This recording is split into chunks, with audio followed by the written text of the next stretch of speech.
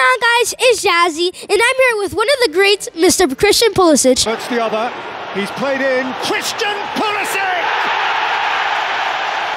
Another American goal in the European Champions League. Mr. Pulisic, how you doing today? I'm doing wonderful. How are you? I'm doing great. Thanks for asking. Well, how's the transition from living in the United States to moving to England? Like, what was the big difference? Like, what was the food?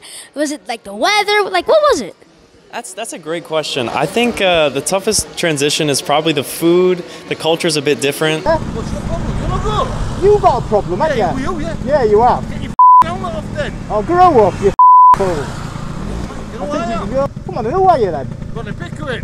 Who? Ronnie Pickering. Who? Ronnie Pickering. Who the f is that? Yeah, me. Um, but I love it because soccer's really big over there. You know.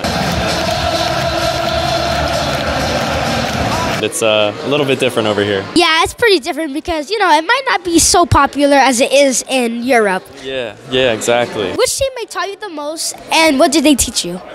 Wow. Um, I didn't come prepared. Let me think. Teammate that taught me the most.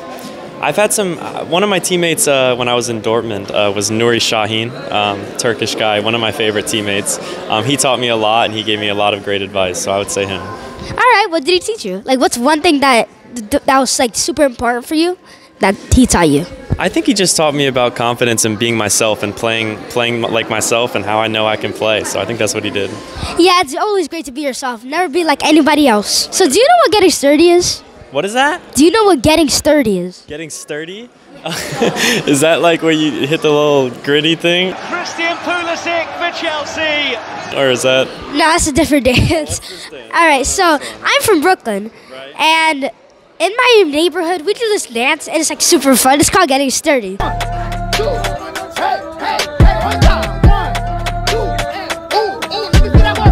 Okay, so it's like a mix of three dances all together.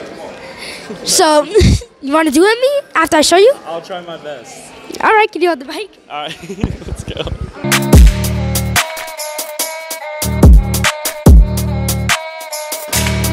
okay, I can't do it.